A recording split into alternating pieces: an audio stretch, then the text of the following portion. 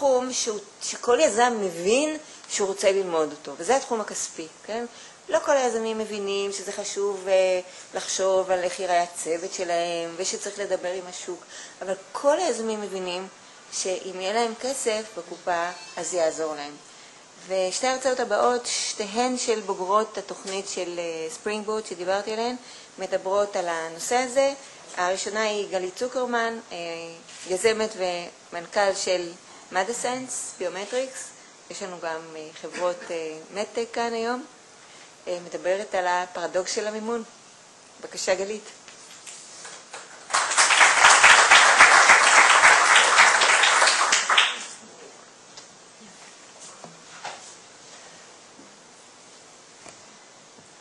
צהריים טובים לכולם. אני שמחה להיות פה, תודה אלה פה על ההזמנה הזו. בואו נראה רק איך זה, לראות מעולה. כן. כמו שאלה סיפרה, אנחנו מייצגים ככה את הצעד היותר צעיר של החברות מפה.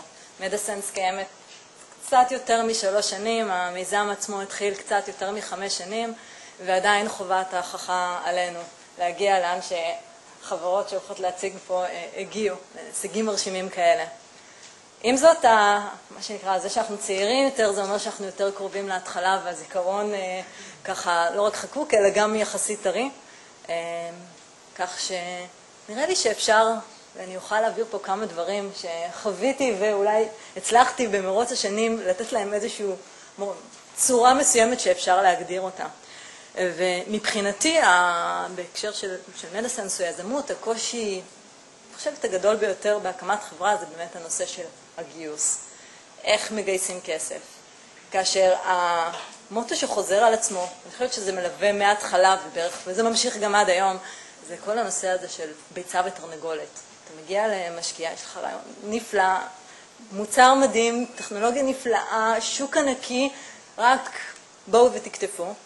ומציגים את המצגת, מציגים את הרעיון, כמה, כמה הצוות מוכשר, ואז אומרים לך, נפלא, בוא תראי לי prototype, תראי לי משהו ש...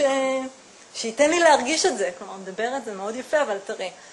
ואז אני חושבת לעצמי, אוקיי, אם היה לי את ה prototype, לא בדיוק הייתי מגיעה אליך. כלומר, הייתי כבר, ואת הולכת לאיזה VC, מגייסת כמה מיליוני דולרים, או עושה איזושהי הנפקה על פי הדרישות שלך. אבל בכל אופן, עדיין צריך לגייס כסף גם בהתחלה. אז מה שאני אנסה לדבר פה בכמה דקות שיוקצו, זה איך, איך לפחות אנחנו התגברנו עד היום על השלב הזה. גייסנו עד היום קצת יותר ממיליון דולר, אנחנו צריכים עוד לגייס להמשך כדי להגיע לשלב של רווחיות, אבל התהליך הזה הולך וחוזר, ואלמנטים בהם חוזרים לאורך כל הדרך, והתחילו עוד מהיום הראשון של יש לי רעיון. אז כמה מילים שיהיה לכם את הרקע לפחות על החברה ועל מה אני מדברת בהקשר של מדסנס, אז שתי דקות ככה על מדסנס. רואים את המצגת מספיק ברורה או שתאורה, מי מסדר את התאורה פה? קצת, כמו שהיה מקודם. אבל ככה, כן. יראו אותך. כן. לא, לא, בסדר, לא יותר מדי. אז במדסנס אנחנו מתעסקים, מתעסקים בכאב. ספציפית בתוך העולם של הכאב אנחנו מתעסקים במדידת כאב, כאשר זה בערך איך שמודדים היום כאב בבתי חולים, עם ה-funny, smiley faces האלה. ואחד השיטוטים באינטרנט, ככה ראיתי אינטרפטציה אחרת לשרטוטים האלה, וזה איך צריך אולי לתאר את רמת הכאב מבחינת הפרצופים. אז זה בערך מה שיש היום, כשבן אדם עוד מתקשר. וכשהוא לא, לא כל כך מתקשר, ויש אי אלו מצבים כאלה בעולם הרפואי, אז בעצם יש איזשהו ניסוי וטעייה. אתה לא רוצה שהניסוי לא יצליח. מעבר לזה, מעבר לאתיקה ולהיגיון, גם זה חובה למדוד כאב, לפחות מבחינה רגולטורית, לפחות בארצות הברית, והיום גם בשנים האחרונות זה מתחיל להיכנס גם לישראל. אז צריך לעשות את זה. ובעצם פה אנחנו נכנסים לאופורטוניטי הזה של צריך למדוד כאב והכלים הם די מוגבלים. ומה שאנחנו מציעים זה מערכת שיודעת למדוד כאב בצורה מצד אחד פשוטה, מצד אחד מסובכת. היא בעצם מסתכלת על תגובת הגוף לכאב ומנתחת את האותות הפיזיולוגיים של הגוף. הרבה אותות, הרבה אלגוריתמיקה, הרבה בלגן, אבל בסופו של דבר זו מערכת מבחינת ההשתמשות, השימוש די פשוטה. מחברים עם פינגר פרוב לאצבע, ובעצם האצבעון הזה לוקח את הסיגנלים, ומשם ואילך התוכנה עושה, עושה את העבודה. ומה שעשינו כל כך קשה בשנים, בשלוש שנים האחרונות זה בעצם לפתח את המערכת ולבחון את זה. בעולם שלנו יש ניסויים קליניים. צריך לומר, אוקיי, יש רעיון, צריך להוכיח שהוא עובד. ועשינו ניסויים קליניים והראינו שהמערכת באמת יודעת למדוד כאב ויותר טובה מכל אחד מהמדדים האחרים שיש, אה, שיש, אה, שנמצאים בעצם בשוק. ואז בעצם בפנינו פרוס עולם גדול ונפלא, שוק של multi-billion שמתחיל מאפליקציה מסוימת שאליה אנחנו פונים ראשונים ו pipeline ארוך וגדול, לאן נלך ואיפה נמשיך. אבל כל מה שאני מספרת עכשיו, יש לי עכשיו. לפני שלוש שנים לא בדיוק היה לי את כל הנתונים האלה. לא היה לי את הניסויים הקליניים, לא היה לי את המערכת שאני יכולה לבוא ולעשות איזשהו דמו, מישהו שיכאיב לעצמו ויסתכל איך זה מגיב, לא היה את כל הדברים האלה. ועם הסיפורים של מה יכול להיות ומה אולי יהיה, היה צריך לגייס כסף. והמצב הזה מבחינתנו, מה שבדיעבד תהליך ארוך שנעשה, זה בעצם גישה שכתובה וידועה, שהולכת בעולם התוכנה, Agile Development, שזה אומרים, בכל שלב תנסה לעשות לא את הדבר הנקי והגרנדיוזי, אלא תנסה לעשות, ליצור את כל התמונה, את כל המערכת, אבל בקטן. תעשה את זה, אחרי זה תלך, תציג אותה, תקבל קצת פידבקים, תחזור, תתקן, תשפר, תוסיף עוד כמה פיצ'רים, וככה לאט לאט, שלב שלב, תגיע בסופו של דבר למוצר המוגמר. אבל בכל שלב יהיה לך משהו שאתה יכול להיאחז בו. ובעצם מה שאנחנו עושים באיזשהו מקום זה Agile Business Development. בכל שלב אנחנו מנסים כאילו לתפוס את כל התמונה המלאה, אבל מבחינת העומק, רמת העומק היא לא, היא די, בהתחלה די שטחה, שטחית, ואז לאט לאט נכנסים ומבססים את העניין. אז בעצם אני אעבור כמו קצת על השלבים, עם הדוגמאות בעצם איפה ראינו את זה קורה אצלנו. בעצם הכל התחיל מ- you have a great idea. איזה נפלא, אנרגיות חיוביות, בניגוד לכל הרעיונות האחרים שזרקנו לפח, זה תופס, נראה שזה עובר איזשהו משהו הגיוני. יש רעיון נפלא, ואוקיי, צריך לעבוד באיזושהי צורה על פי השיטה.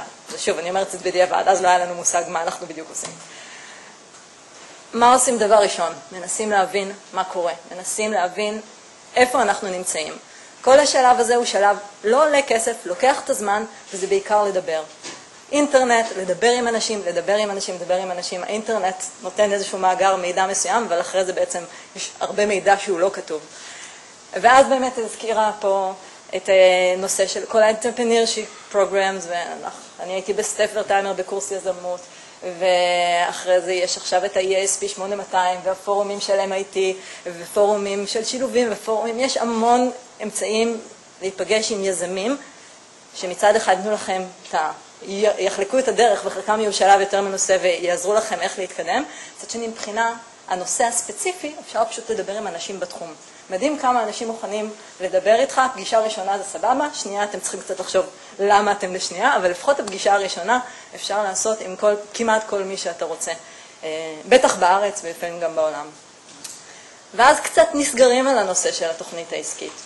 אז גם בהקשר הזה, אם אתה יזם ראשון, אז צריך לבנות איזושהי, איזשהו צוות, צוות שיענה על השאלות המהותיות במה שאתם מתכננים.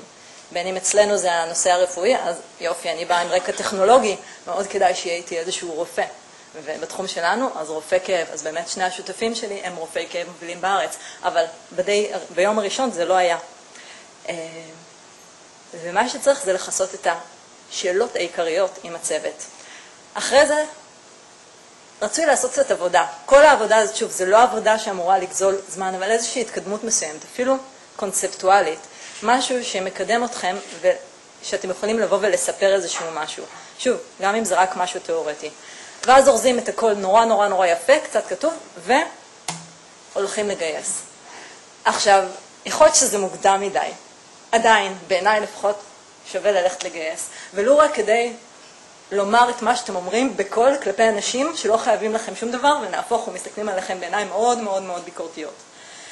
ובהקשר הזה, אז כן מזכירים את הנושא של ה-full friend family, הם קצת תהיו אולי פחות ביקורתיים, רצוי ללכת למישהו קצת יותר ביקורתי, כן אנג'לים, כן אה, בהקשר של תמיכה ממשלתית, זה פרויקט תנופה לשלבים כאלה, או אפילו לדבר עם לקוחות, לקוחות, שאומרים בתי חולים או רופאים במקרה שלנו, או שוב, לקוחות במקרים אחרים. כל הדבר הזה הוא שוב, הוא עדיין נורא נורא נורא נורא בסיסי, ויש סיכוי שיצליח מזה משהו, נפלא, תמשיכו הלאה, ורוב הסיכויים שיגלו איזשהו באג בתהליך של מה שסיפרתם, או יהיה חסר משהו. וזה הפידבק שאפשר יהיה איתו לחזור אחורה, ובעצם לחזור לשלב הקודם, של בוא, בואו נסתכל על מה צריך לעשות, בואו נעשה קצת אולי איזשהו refinement על ה-business plan, בואו אולי בתים חסר איזשהו מישהו בצוות שיכול לתת אפילו יועץ או ברמה חלקית, בואו ננסה לעשות איזשהו משהו, אמרו, תשמעו, לא עשיתם סקר פטנטים, אפשר לעשות איזשהו סקר פטנטים בסיסי. הזכרתי, הזכרתי בהקשר הזה את תנופה, אז כן, מממנים את הדברים הבסיסיים האלה שיכולים לעלות קצת כסף. אמ, ואולי צריך קצת לארוז את זה יותר יפה מבחינת הפרזנטציה. וכן הלאה, ניגשים שוב, ואולי עכשיו יש יותר סיכוי. במקרה שלנו ניגשנו, ניגשנו לתנופה, בהתחלה הבוחן אמר, תשמעו, לכו תעשו שיעורי בית, תחזרו אליי, חבל שאני אגיש אתכם. עשינו קצת שיעורי בית, אחרי כמה חודשים אמרנו, אוקיי, הנה החבילה, בואו נלך עם זה, ובעצם אז קיבלנו את התנופה, בעצם את המענק של תנופה. אחרי תנופה ממשיכים להתגלגל. התנופה קצת מממנת את הנושא של חיפוש פטנטים, של freedom to operate, של אולי לכתוב provisional, אפשר לבוא עם משהו קצת יותר מוחשי מבחינת business plan, מבחינת עשינו איזשהו, כתבנו איזושהי תוכנה עם subcontractor, לעשות איזשהו דמו לדבר, זה נותן עוד קצת כלים. ואז אפשר ללכת עוד צעד. ואלה שאמרו, אם תבואו אליי עם כזה, אז אתם באים אליו עם, לא עם מה שהוא רצה, כי מה שהוא רצה זה עוד 20 שנה בערך, טוב, לא 20 שנה, זה לא פארמה, אבל אולי עוד אה, שלוש שנים, אלא משהו שמראה על ההתקדמות המסוימת בכיוון הזה. ואז, זה שזה אותו אחד שדי ניסה לנפנף אתכם בהתחלה ואמר, יאללה, אם תחזרו אליי עם הדבר הזה, וואלה, יהיה שווה, אומר, וואלה, חבר'ה, אולי קצת רציניים, יש משהו, שווה לעקוב.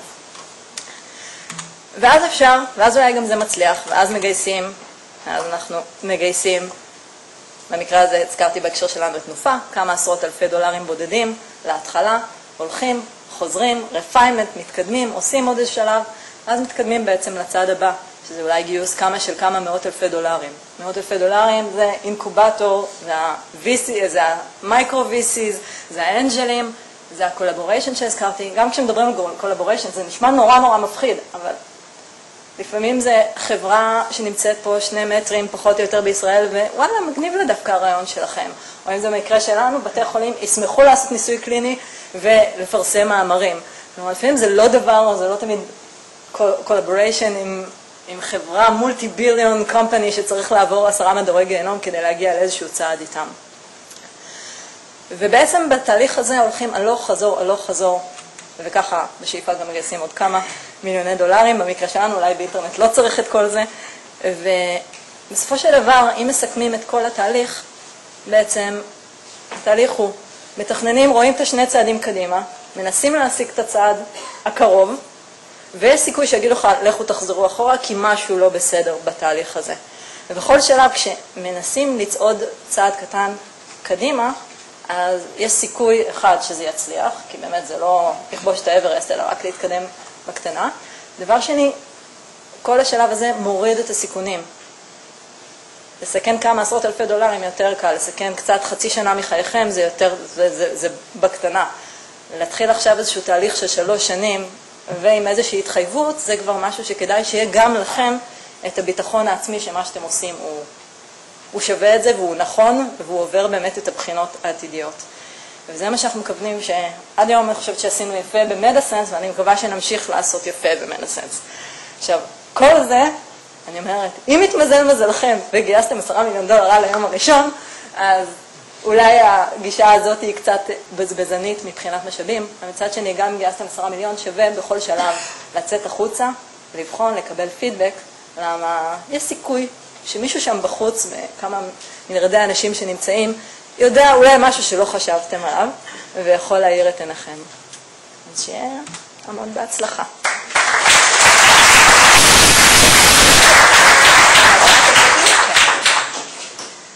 טוב, בשביל אה, לפזר את המסתורין, חברת מדסנס אה, גייסה מחממת אופקים, שזאת חממה מצוינת, ולא מעט יזמים מגיע, מגיעים למסקנה שחממות זה פתרון טוב. בייחוד עכשיו, שכל כך קשה להשיג אה, כספים של אה, הון סיכון. אה, מה עוד רציתי להגיד?